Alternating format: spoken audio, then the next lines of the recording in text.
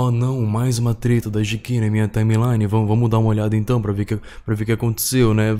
A GK, pra quem não sabe, é essa menina abençoada na tela, mano, que é influenciadora, faz Reels, TikTok, faz tudo na internet e ela tá famosinha recentemente, enfim. Ela que criou a farofa da GK, mano, que é aquela festa imensa só com influenciador que lá deve gerar um novo coronavírus logo logo. E ela também é comediante, mano. Eu não sei se isso já faz parte da piada, que ela, ela é comediante, não sei se realmente é ou não. Mas, mas, enfim, teve uma premiação chamada Melhores do Ano, que é a Globo que faz, que ela dá meio que awards, premiações para várias pessoas em várias categorias. E o um cara random chamado Fábio Porchat, ele falou isso aqui, ó, vamos lá. Eu olho o Jô e fico pensando, o que, que ele faria com uma DK, né, Tata? Na frente dele. Foi por isso que ele preferiu nos deixar às vezes, né? É, ele falou que o Jô, mano, que é um apresentador de TV que ele já faleceu, cara, ele falou que o Jô iria preferir morrer do que entrevistar a GK.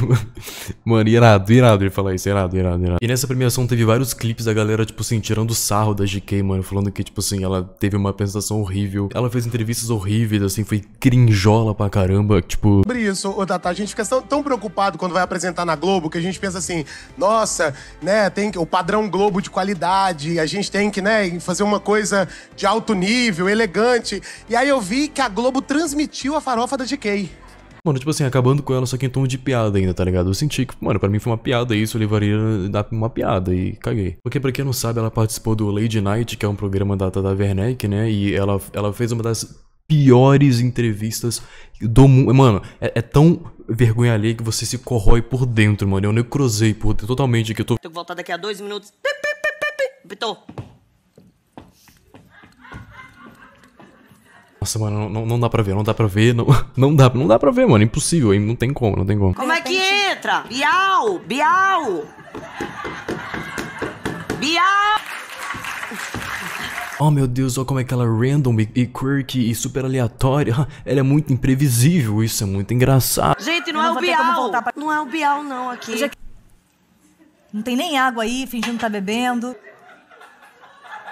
Ela começa a babar do nada, mano. E a galera tava rindo porque, sei lá, a produção deve ter falado, ó, oh, galera, hora de rir. Tava ria, aí todo mundo ria. Mano, porque não é possível. GK humorista. Muito foda, mano. Muito foda. Aí depois disso tudo, cara, dela ter feito tudo esse negócio horrível lá na, lá na TV, a galera zoou ela com razão, todo mundo que zoou ela tem razão, mano, e foi uma piada entre humoristas, né? Se ela é comediante, ela, ela poderia ter estado com uma piada, mas ela falou isso aqui, ó, vamos lá. Sobre a galera falando dela, ela tweetou assim, realmente eu devo ser muito importante a ponta da pauta ser eu tantas vezes em um lugar que nem fui chamada. Aí depois daquela piada lá que o Fábio Pochá fez, ela falou assim, ó, você dizer que uma pessoa preferiu ir embora do que me entrevistar realmente não tem noção alguma do quanto isso me fere em mil lugares. Primeiro, pois se o que é perder alguém, e segundo, porque ser entrevistada pelo Joe era um dos meus sonhos e terceiro porque eu devo ser um lixo enorme. É, vemos aqui que ela não levou nem um pouquinho na piada, ela não gostou do que foi dito para ela.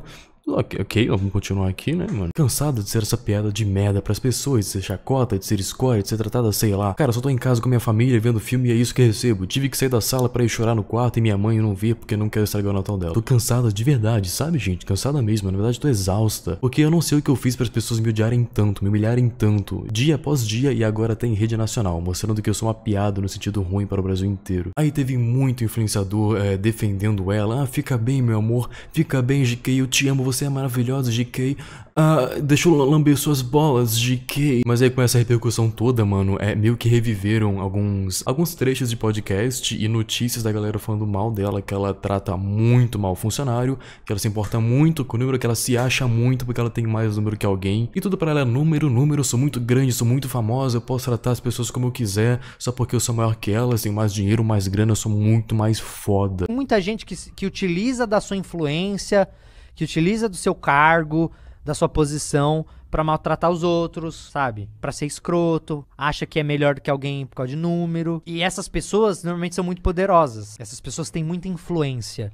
E quando você tem muita influência, você tá blindado pela sua influência. Porque alguma, a, as pessoas ficam com medo, receio de te criticar, qualquer coisa, porque sabe que você pode usar a sua influência para fuder aquela pessoa. Cara, isso é muito real, mano. A galera tem muito medo de falar mal de pessoas grandes, porque ah, acho que pode perder oportunidade, essa pessoa pode fazer algum mal. E como ela é muito grande, ela pode falar de você para outras pessoas e pode acabar com a sua imagem, enfim, mano. Mas eu acho meio idiota isso, pra ser sincero. Como eu não dependo de ninguém, eu quero que se foda. quero que a GK se foda. Quero que ela se foda, mano.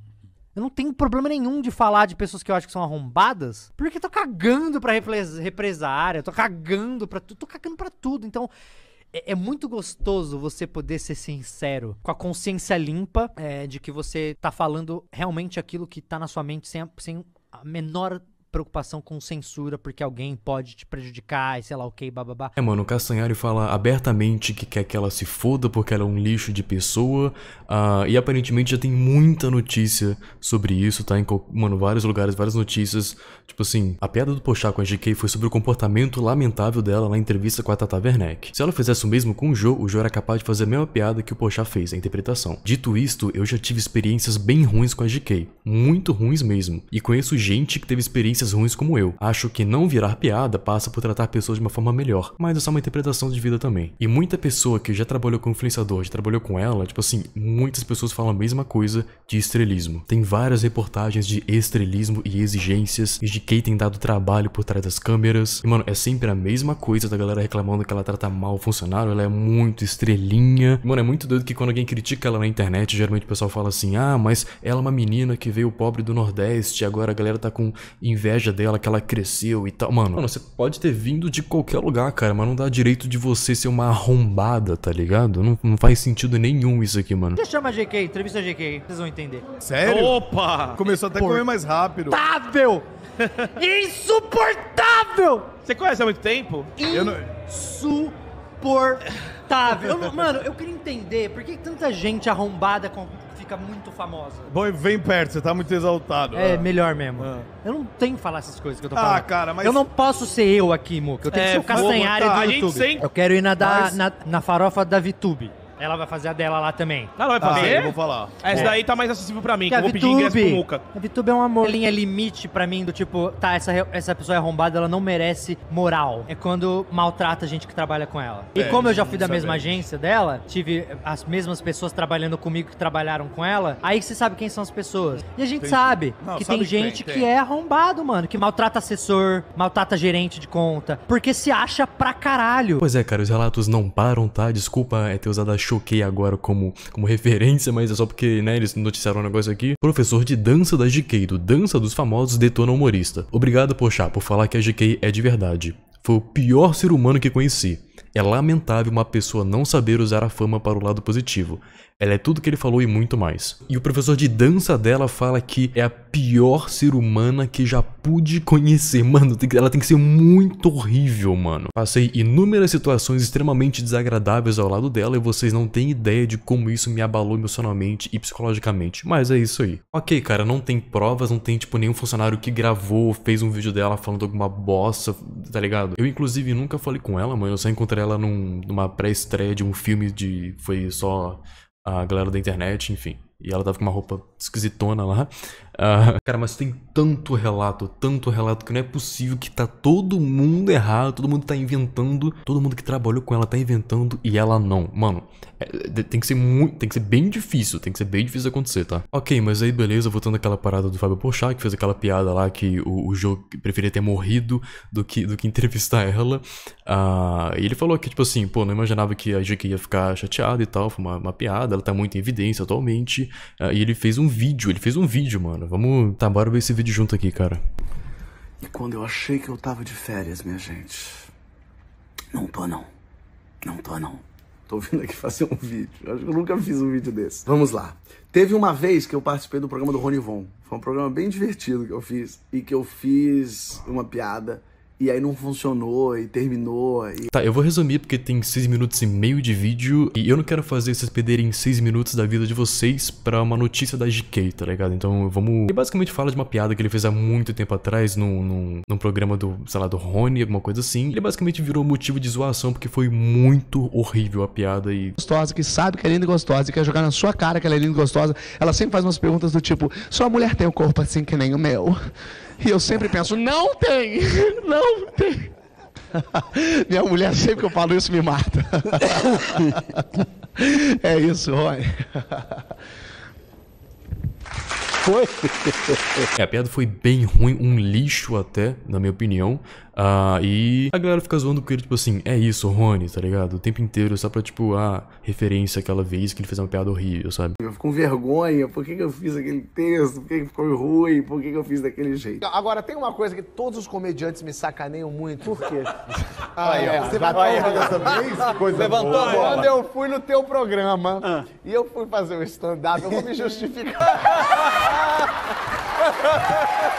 Amigos, inimigos, todos sacaneiam. Pô, é isso, Rony, que participação horrível, nossa, que vergonha e tal. A minha piada com a DK, no Melhores do Ano, foi sobre a participação horrível dela no programa da Tata Werneck. Que isso é um negócio que todo mundo concorda, foi horrível, não dá pra assistir até o final. E o Fábio aqui fala basicamente que foi sobre isso e mais nada. Tipo, mano, foi sobre a parada que se fez lá no, no programa da Lady Night, que foi, que foi uma apresentação bem é, crinjolinha, tá? Uma das piores das sete temporadas que rolou no programa, tá ligado? Se vocês viram, vale a pena ver. Foi uma participação estranhíssima, caótica. Ela deu uma entrevista em que ela babava água, em que ela saía correndo, a Tatá ficou apavorada. E todo mundo viu isso.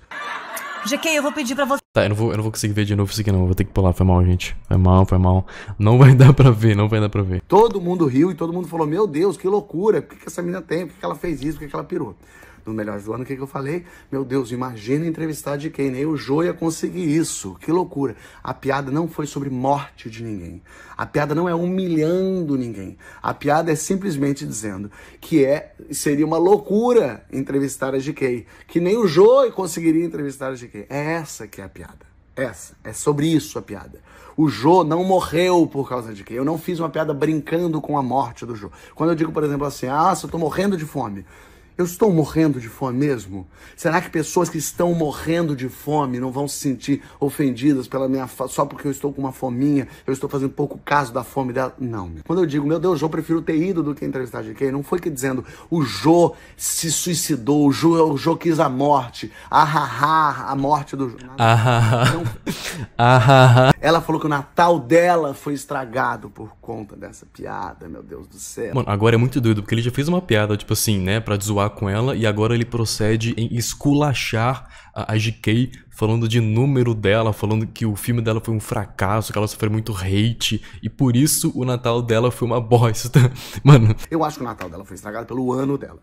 Por quê? A DK foi uma entrevista estranhíssima na Tata Werneck, é, muito ruim mesmo, que virou motivo de chacota e todo mundo caçou dela.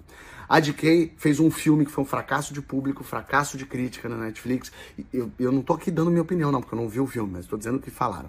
É, ela foi muito criticada como atriz. Isso deve ter abalado ela. Ela recebeu um, tem um monte de notícias dizendo que ela maltrata pessoas, que ela trata mal funcionários, que ela trata mal a produção, que ela é uma estrela, que ela não sabe lidar com produção. Relatos de colegas, de atores, de comediantes, dizendo que ela é insuportável, que não tem como trabalhar com ela. Tudo isso fez do Natal dela um Natal miserável. A minha piada dizendo que, ai, que difícil entrevistar de Kay, desculpa, não tem nada de humilhante, não tem nada de agressivo, não tem nada, nada, mas absolutamente nada. É, e ele fala que, tipo assim, a piada que ele fez foi tipo um estopim, foi tipo um, pico, o máximo que ela atingiu, que ela conseguiu suportar assim, ah, mas já tava sendo acumulado por várias coisas ruins. Ela, ele meio que assumiu, tipo assim, ah, tá ruim por causa disso aqui, disso aqui, disso aqui, disso aqui, tá ligado? O que tem é um acúmulo de um monte de coisa. E ninguém sabia que a DK tava nesse poço pra explodir. Não é que a DK falou que tá deprimida e eu fiz piada. Não é que a DK está no hospital e eu fiz piada. Não, a DK está se vestindo de balão e indo na festa dela. E essa é a pessoa, ela é uma comediante, ela brinca, ela sacaneia. E assim é, a gente sacaneia os outros, a gente sacaneia as pessoas. Tá, e depois ele fala que ele nem pediu desculpas, porque ele não acha que, tipo, isso merece desculpas, se fosse uma piada. Olha, na minha, na minha opinião, tá? Se fosse comigo, eu, eu, eu acharia de boa, tá? Eu não ficaria abalado se fizesse uma piada desse tipo comigo, tá? E, mano, eu juro que eh, no início eu senti um pouquinho de pena da GK, porque, tipo assim, pô, deve ser ruim muita coisa acontecendo com ela e tal. Pô, zoaram ela, enfim. Dá pra perceber que ele sabe de alguma coisa, mano. Tanto que ele falou mesmo aqui, mano, que tem vários relatos da galera falando que ela é horrível de trabalhar, que ela é desrespeitosa, que ela humilha pessoas. Enfim, mano, e aí eu, eu perco totalmente a pena da GK, mano, porque é foda, porque tem tanto relato, tanta pessoa, a, a galera realmente não gosta dela, mano, então eu. Cara. Eu não pedi desculpas pra ela, eu só falei, poxa, eu entendo que você deva estar mal, essa piada te bateu ruim, não era pra bater ruim em você. Mas é, é assim, quando a gente tá em evidência, a gente brinca, a gente sacaneia com os outros e eu estava te sacaneando. Só isso, ponto final.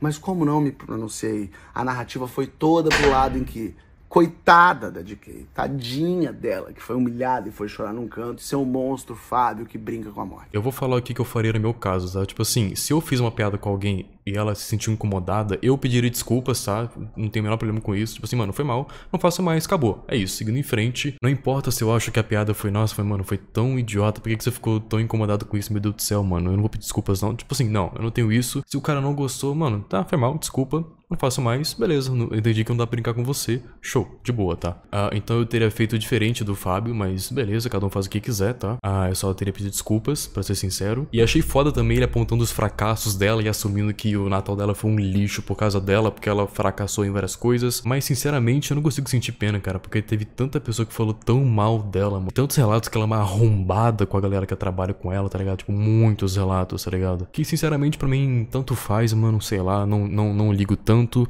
Hoje é dia 27, quase fim de ano. Eu estou falando da GK em um vídeo. Olha, olha que foda. É isso. Falou. Falou, galera. Chega, chega. Falou, falou, falou.